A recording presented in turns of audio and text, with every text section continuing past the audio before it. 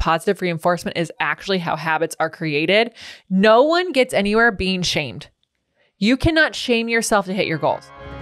Welcome to the Be It Till You See It podcast, where we talk about taking messy action knowing that perfect is boring. I'm Lesley Logan, Pilates instructor and fitness business coach. I've trained thousands of people around the world, and the number one thing I see stopping people from achieving anything is self doubt. My friends, action brings clarity, and it's the antidote to fear. Each week, my guests will bring bold, executable, intrinsic, and targeted steps that you can use to put yourself first and be it till you see it. It's a practice, not a perfect. Let's get started. Welcome back to the Be It Till You See It interview recap by my co-host in life, Brad and I are going to dig into the motivational convo I had with Tamika Robinson in our last episode. If you haven't yet listened to that episode, feel free to pause this now, go back, listen to that one. You're going to hear Tamika and I giggle a lot, especially if you listen on 2X like Brad does, then it sounds like chipmunks.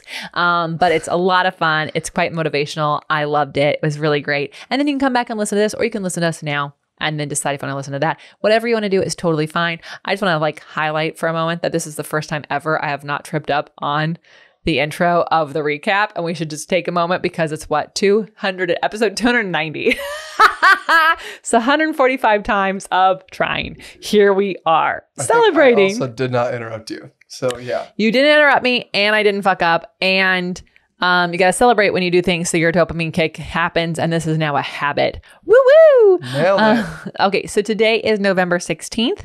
Um, it's use less stuff day. That that's so crazy. I think that my FYF for tomorrow is about how I cleared out my closet. I didn't even There know that. So great. Um, so uh, the day was created to spread awareness around the clutter of unnecessary things in our homes, especially during the busiest shopping months of the year. It encourages people to adopt a minimalist lifestyle where only the essentials are bought or kept. Um, keep that in mind as we talk about Black Friday, Cyber Monday. Most everything that we're about to talk about is digital, so not going to take up any space. but um, I agree. I do think that like we'd probably have a lot of things. So maybe pick a room. One of the things that Brad and I do around the new year, um, which we're going to do this time around Thanksgiving, is because we're never home on the New Year's anymore. So I picked a new holiday. So on Thanksgiving uh, weekend, we uh, we go through room by room, like clean out a closet, clean out a drawer, and just like get rid of stuff. You're like, I. What is this? It's taking up space, and it was a hell of a lot easier when we lived in an apartment. Yes. Now we don't, but now we have a whole weekend to do it, Brad, because we have Black Friday through Cyber Monday. That's and, true. And That's true. also, even if you just start with one room and you just do the one room and you go, okay, I have not used this in so many years. Like, do you really need it? Give it away to someone. Give it to some. You can sell things on Facebook Marketplace. You can make some money. So you can actually get paid Yes, to be you can. Then what's going on? So next month is December. So we'll be on tour for our winter tour. And we've got tons of cities and lots of opportunity. Bring your friends, bring your family. There's classes that anyone can attend. And then there's workshops that um, I design them so that whether you're a teacher or a client, you can enjoy them. But um, there are CECs if you are a teacher. So go to opc.me slash tour to see what cities we're going to be in. Look, we're driving 7,000 miles. You can drive two hours. I'm just saying. 100%. You can be part of if you are like, oh my God, Lesley, it's the holidays, I have family. I bet you they dr- I bet you need a break. Or you can bring them and Yeah, let me entertain them. So opc.me slash tour, you're gonna want to be there. Next week is the holiday. Y'all, it's a crazy tour. We're going to be hitting something like 20 plus locations yeah. on this Yeah. tour. I want to light. I want to light in the van that's like, you are in Denver, and I'm like, hello, Denver, what's up? Like, I.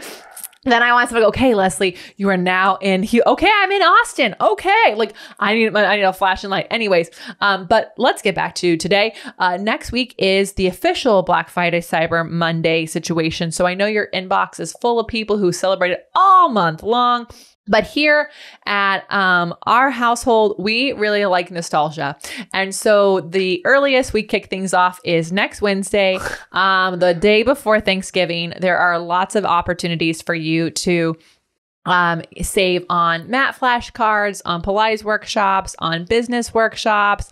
Um, And my special upcoming live webinar. yes. We're going to be doing, uh, we're going to be selling tickets for that over BFCM as well. And we might as well go into what that webinar is. what your website needs. You uh, all websites are not going anywhere. I don't care how important social media seems to be in your life, and no matter what your be it till you see it is, I bet you need a website. So I'll be catering it specifically towards Pilates instructors. yeah, but if you're uh, in the service based business, you if can you're yoga or anything like that, um, that's super good. You, you know, it'll be super applicable for you too. Yeah, and in- I'm going to be really digging into things like, um, let's say you actually have no interest in doing the website yourself.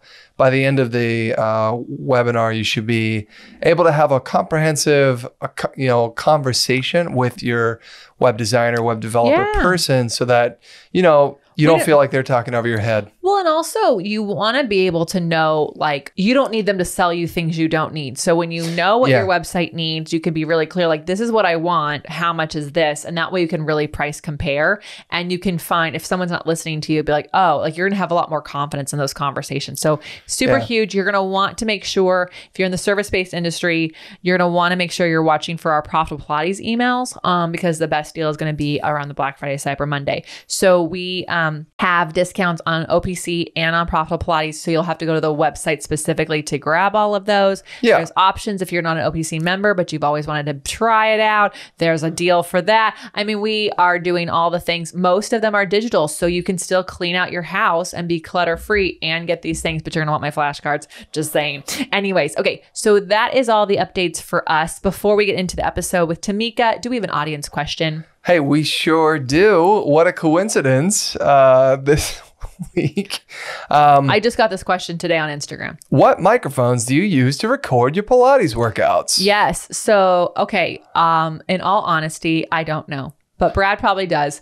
Uh, what we do, we, what We use whatever Nate tells us to use. Yes. So Nate is the most incredible, most amazing salesperson um, at Sweetwater Sound. And you guys, uh, Sweetwater is like one of the coolest companies because they're like, they're kicking ass when it comes to selling um, microphones in all the spaces. They're just like they sell more than microphones. They It's have it's uh basically that like in the 90s and early 2000s they were competing with Guitar Center, which was brick and mortar, and they were a mail order catalog only. And then they went online, and then now they actually give Amazon a run for their money for Oh, yeah. music distribution and or for music um, gear, gear. Yeah. distribution. And they have warehouses now in different places, which is a huge new thing for them. They They used to just only be up a West in Coast Fort one. Wayne. Yeah. And so they can get you stuff so quickly. So Yeah. Nate is our guy. And so here's how you can find out all the information on anything that we use to record for our uh, YouTube videos and our on-demand workouts. You go to profitablepilates.com slash live stream.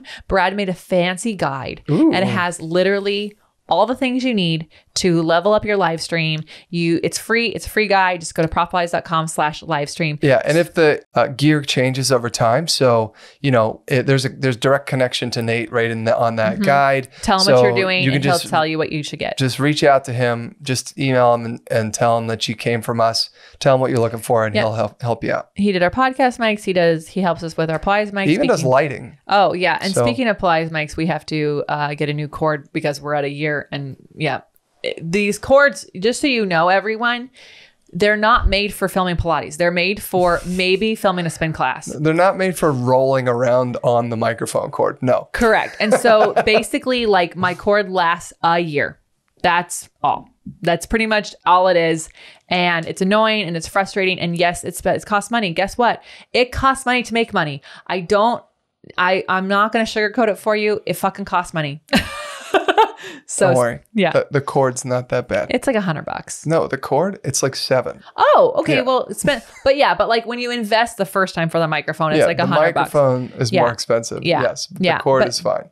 Anyway, so profitablepilates.com slash live stream. You guys send your questions in. We answer questions ranging all host of things. Um, so send them in to the Be It Pod so we can answer your questions on the next episode. Okay, now let's talk about Tamika Robinson, founder of JarFit. Tamika shares her journey as a personal trainer, focusing on aiding women to achieve their body goals. She's committed to empowering her clients, celebrating their small wins, and fostering self belief through each step of their fitness journey. Um, and uh, I don't know if you've gone to her website to see uh, pictures of her competition Oh my god. body, um, but she's amazingly impressive uh, when it comes to uh, she competes, uh, and I think she's won titles and stuff.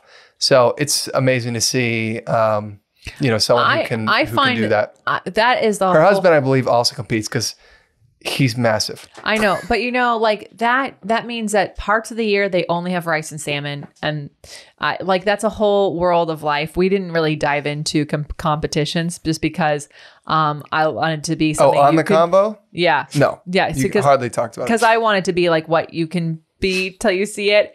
And I really like so we had on James Patrick a while back and he hosts Photographer. Mhm. Yeah.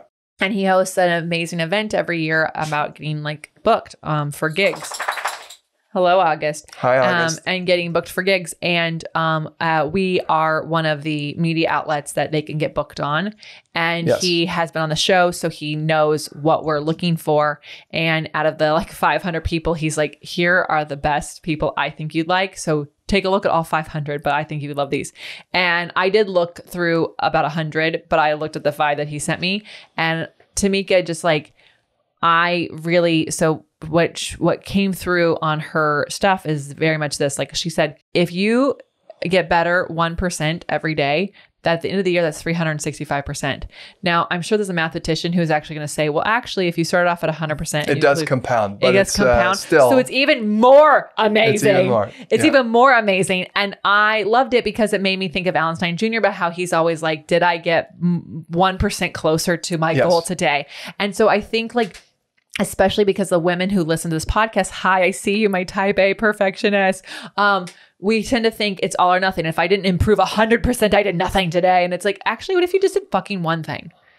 yeah. Just one thing today that got you closer to your goal. At the end of the year, it's 365 fucking things. You probably are going to surpass that goal, you know? And so, but we make it up so hard. So, um, she, uh, she does this a little bit more specifically. We got into like how she does with her weight training and like helping people. But I want to like more importantly, I want to talk about how she like uses positive reinforcement to motivate her clients. You guys, positive reinforcement is actually how habits are created.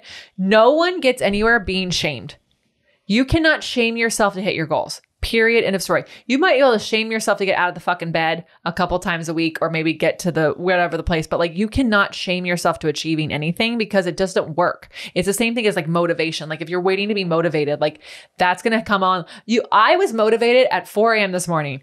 That is not a consistent thing. It's just because we got home and we're still working on getting up at 5 a.m. But I was like motivated and ready to go. Uh, that's, you know, you can't just wait on motivation. It's going to come up at the worst times, right? And she also talked about like how she really encourages her clients to journal and on their experiences and reflections.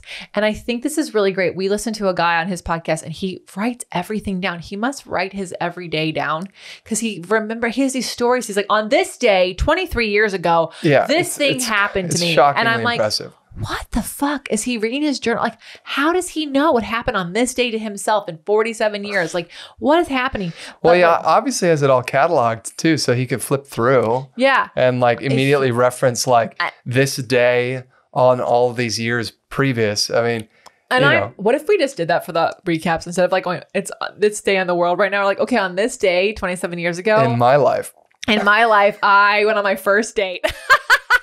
no, but like if you can take whether you want to journal in the morning or in the evening, find a time to like talk, like write down your experiences from the day, write down three things that happened to you, and then reflect on like, how did you like that? What was your favorite part about that? Because those kinds of things help you really understand yourself. I would Brad and I were in a coaching session today with our coach, and I was like, "Oh, I journaled today," and I became extremely aware of like how I've been holding myself back this year. And it's not like in a negative way. It's like, oh, aha moment. Whoa. Like these things are really important. So I love that she does that. And then she um, really encourages them to acknowledge their own progress um, so they can feel good about their achievements. So just, I think that more, more coaches like her affecting more women out in the world. She does it through weight training, but like, my goodness, you guys don't, you don't have to weight train with her to get this. You can actually like take these things and like apply them to your life the way you do them. Yeah, totally. And uh, well, she said a bunch of things that I also dug. Uh, one, I thought it was really fun that she mentioned um, she and her partner both share similar uh, personal goals, and so that's why they started working together. Um, and that was fun um, because that's how life is for us. And it made me think about that. But uh, I really loved when she was talking about like her transition into becoming a coach, Mm-hmm. uh, becoming a um, trainer, actually. And uh, so she said, if you're planning on starting your side hustle or leaving your full time job, you must know what it is that you need to make so that you can enjoy. I knew you'd love this. yeah, so you can like enjoy being, you know, in your new role. And because she, it was really interesting to listen to her talk about like the idea of being a trainer and that being her profession, right? Because she comes from like, she went and got a criminal justice background degree, I like know. master's degree. I she was like trying to work for the FBI. I know. Like three times she applied and, and wasn't getting into the FBI. And I then, mean, like, they're fucking lost because she's amazing. Yeah, but also like she's so sweet. I feel like the FBI would like just like Yeah, just like squeeze you out. Yeah. But she, you know, so she had this preconceived notion of like, who am I? What am I supposed to do with my life? And then she just enjoyed the training and then started, you know, she got certified and then started training people. And, but I still think even she mentioned that even after she started taking clients, she still wasn't like convinced herself that this is her job, her profession Mhm. right? And it took a long time for her to settle in and actually di- really lean into it. Um, and you know, so I think when she was first starting out, she was a little unsettled. Like I'm not, you know, making my insurance or I'm not making my my you know the money that I think I should be making or whatever. And so she then reflects on that and t- teaches her cli- clients like, hey, you know, know what you need to make uh, before you quit. And she said also what I thought was really nice is that it was messy. It was a messy process. I thought that was really cool that she was so transparent. You know, it didn't happen overnight. She didn't like immediately start making her goal income right away. All the things. In fact, she um, she started writing herself a check for ten grand um, uh, every single month. Even if she wasn't able to cash that check, she began to visualize this concept of like, this is the amount of money that I know that I want to make.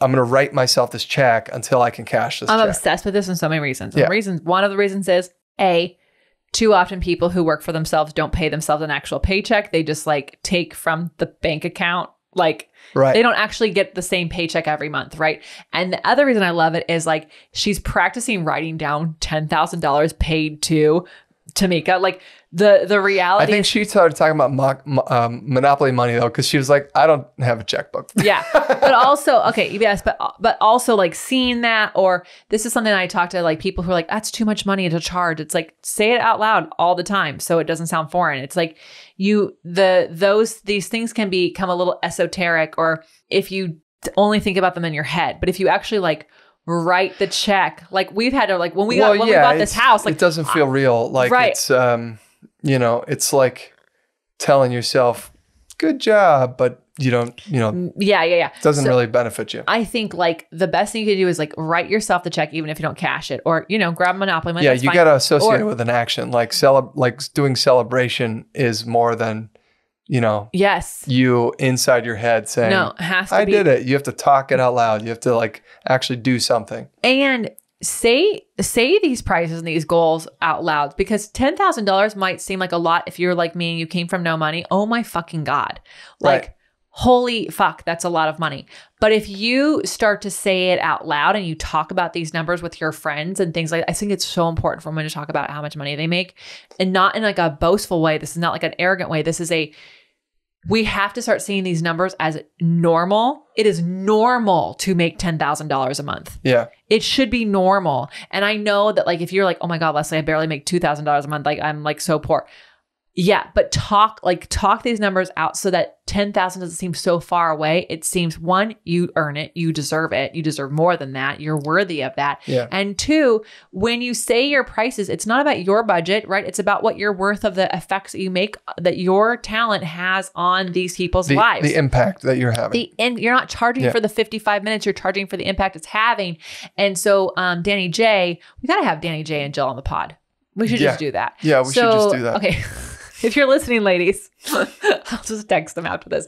Um, but uh Danny J had uh us like take what we charge and double it and go around and say how much does it cost to work with you? And i'm like okay so i took the opc most expensive membership and i said okay it costs $1400 a year to take um and i said how many classes that that membership includes what's like 6 times 12 is 64 66 64 I wasn't actually 12 times six. how much do you how much is 12 times 6 You get 104 classes with Yeah. the most expensive Right. one. I think. Okay, so- 152. Okay, 152. classes, something like that. So 152 for fifteen hundred dollars. It's only uh, 150. We don't charge fifteen hundred dollars, guys. But the point was to take what you charge and double it. And so if you think about, hold that's fucking ten dollars a class. Well, guess what? My rates are actually half that. So it's five fucking dollars a class to work with me for a whole year. That's so cheap, right? But we think about, oh my god, seven hundred dollars. Like we think about the bigger Right. number, Right. breaking it down. So Danny J had us like take the money, double it, and then walk around saying that so that when you say your actual price, it sounds so inexpensive. Well, in that same vein, I um, she recommended a book, um, I can't wait to read this. It's on my list. overcoming called "Overcoming Under Earning" by Barbara Stanny, and um, you know it was interesting to listen to her talk about that. I I think that uh, um, it would have been really beneficial for me uh, when I was first getting started, you know, too, because I was like, oh man, if I can only make a hundred dollars today, you know, or if I can only make thirty thousand dollars a year, if I can only make fifty thousand dollars a year, and you know, I think it's really important that um, we, like you said, talk about the money side of it, but also it is expensive to live in a city. Period. So it doesn't matter which city you're in; it's expensive to live in a city, and you know, to make fifty grand in a city, you're barely paying your bills. Yeah. You know, 50 grand seemed like so much fucking money for me. Yeah. Well, You know? because I mean, I knew what my parents made. Like my mom, I'm just going to say this because people don't know how school teachers make. My mom taught at private school, and in the 2000s, and I guess they call it the aughts. I don't really understand where that comes from. In the 2000s, she made $22,000 a year as a full time fifth grade school teacher. What the fuck? Yeah. That is McDonald's employees back then made more money in a year full time. Okay. So she's a college educated person who was making that. My father was making a little over 40 something at some point when I heard his salary. Me getting paid $50,000, I was like, I'm slaying. Right. I'm killing it. No, I could barely pay my fucking bills like where I live because I lived in a city like you did. And so it's like, but because my mindset that seemed like That's so right. much money, Mindset. That's it right. was, I did not have the I was mindset like, that I was, was, like, oh my gosh, if I can make of cour- 75, I'm going to be rich. yeah. yeah, if you move to, I don't know. I don't even know where you can live for 75,000 anymore. Maybe Alabama. I don't know. but uh, but I think but so this book it was interesting to hear her talk about it and and uh, so you know worth worth we're gonna check it out too. We haven't actually checked it out, but overcoming under earning by Barbara Stanny. yeah. Um, yeah. So you know she she also um, talked about you know identifying her current situation and desired goals. She created a plan uh, saying I, am going to calculate all my clients, figure out what I'm paying rent, what I need, and then I'm going to figure out the plan. So, for those of you who have worked with us in agency, that probably sounds really familiar. Uh, we obviously talk about the magic number calculator, and it really helps create that clarity for what you need to set for your rates um, to help you work backwards, just like she was talking about here.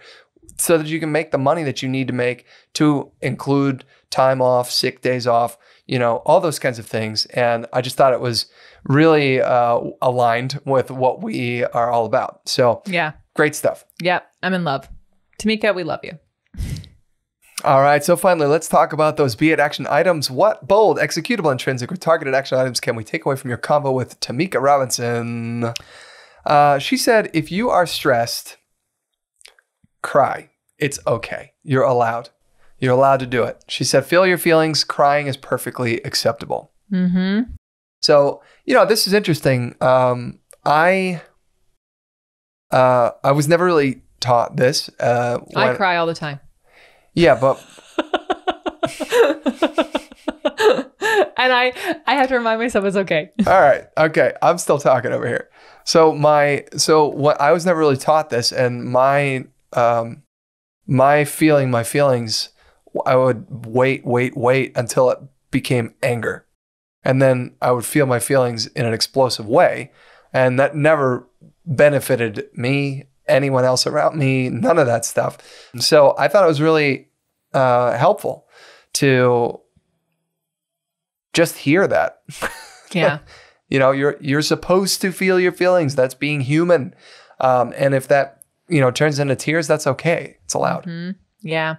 Yeah. Well, I'm really glad that you've heard it now. And I think It's uh, it would have been really helpful 20 years ago, I well, but isn't that the truth? I think even like, 10. well, ca- can I just be honest? Girls are told not to cry, and Oh, especially do So not are boys, do not, well. Girls can cry, but not at work. Don't let anyone see you cry at work. right? And it's like, okay, but your passion is actually super like if you if you're crying all the time, like maybe go check your hormones. But like if you are so passionate about something, you're so frustrated, it makes you cry because like the like it's okay to like have those feelings because if you shove them down, um, there is a really great book. Um, I want to say it's called Burnout. It's by two sisters.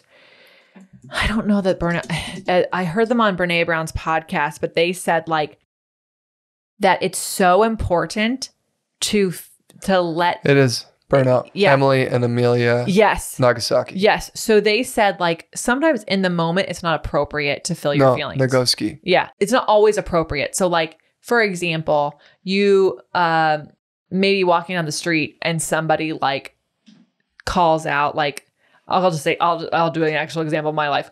I was run I- in LA. I used to run, and this guy who was dressed like a gnome. I swear to fucking god, A like gnome? a gnome. Yes, you heard me say it. He looked like he was out of- straight out of the fucking Hobbit. He had a foil little cap on, and he I was thinking about beard. the Seven Dwarves. Oh, he maybe, but like really straight out of the Hobbit, like kind of look like the like the bigger guy with the thing. He braided his beard. and It points. Anyways, I'd be running with Bayonne, and he'd go, "You're a whore," What?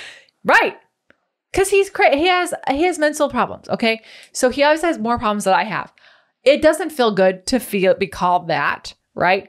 So when I was out of arm's reach of him, I would laugh out loud because like if I were just to like shove that down and every Sunday this man would call me a whore, um, it it is actually not okay. You don't want to be called that. It doesn't feel good to be called that. There was another guy that Eric used to hear. He would like, he was this other crazy dude on Wilshire, and he would call out something, and I just started going, you know. May the Lord open, blessed be. Like, but I would like forgot make a that. joke about it because I had to let out I had to have a reaction to let that out. And their whole point is like maybe in the moment you can't let it out. Like in my case, I was in a an area where I could like let like joke about it or laugh it out. But if you do have to like hold it together because maybe someone says in a meeting and you can't say anything in the meeting, you can't cry in the meeting, then you need to actually get home, get to a pillow, scream in the pillow, like let it out. Because if you don't, if you don't feel your feelings, they bottle up and they actually do cause stress on the body and they can keep you from becoming the person you're meant to be in this world. So I love that be it action. Mine is she said to write down 100 things on your to do list. And I swear to God, when she said that, I was like, well, maybe you are editing this be it action item out because this is not aligned with my values. But then she said, then after the fifth thing, cross everything out.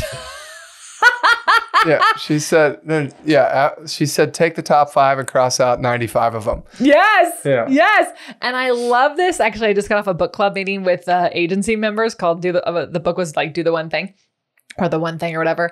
And um, I love this because it's so true. We put all these things on our list, but really the first five things are the most pressing things because they're top of mind. The other 95, you're just like, look at me. I'm so busy. Look at me. I've got all these important things to do. So I thought that is so fun because then you can get all that shit off your head anyway. Yeah, it's a brain dump. Total brain dump. Such a great brain dump. And then you know what your top five priorities are. Boom. Way to go. Um, it helps to underscore the importance of having clear, tangible steps and a pathway to achieving your personal goals. Um, so way to go, Tamika. You're so fun. I'm so glad that James introduced us. I'm glad you put yourself out there so that you could be on this podcast. And I'm excited for what you're doing. yeah, Yeah. that was great. It was Enjoyed great. it. We Lovely. loved it. All right. I'm Les Logan. I'm Brad Crowell. Thank you so much for being here. You all, we could not have the show without you. You just heard the episode 290, which means in Crazy. 10 episodes, that means less than three weeks, we're hitting episode three fucking hundred. Woo. Holy moly. Um, we have an epic week of episodes for you that week because um, we got Michael Unbroken coming back. So we want to know what your favorite part of this episode was. You have to actually tell us though. Like, yeah, so yeah. You actually have to like So- send us a DM. I'm going to call you out. Do it. I need you to either email or DM or if you have our phone number, whatever means of ways of you know how to Chat to communicate with us. us, whatever. We want to know so we can actually continue to provide guests that you want to hear from, but also we can continue to make this podcast better because Yep. holy fucking moly, episode 300. Thank you so much for being here. Have an amazing day. And until next time, be it till you see it. Bye for now. That's all I got for this episode of the Be It Till You See It podcast. One thing that would help both myself and future listeners is for you to rate the show and leave a review. And follow or subscribe for free wherever you listen to your podcast. Also, make sure to introduce yourself over at the Be It Pod on Instagram. I would love to know more about you. Share this episode with whoever you think needs to hear it. Help us and others be it till you see it. Have an awesome day. Be it till you see it is a production of the Bloom Podcast Network. It's written, filmed, and recorded by your host, Lesley Logan, and me, Brad Crowell. It is produced and edited by the Epic team at Disenyo. Our theme music is by Ali at Apex Production Music, and our branding by designer and artist Gianfranco Cioffi. Special thanks to Melissa Solomon for creating our visuals and Semena Velazquez for our transcriptions. Also to Angelina Herrico for adding all the content to our website, and finally to Meredith Crowell for keeping us all on point and on time.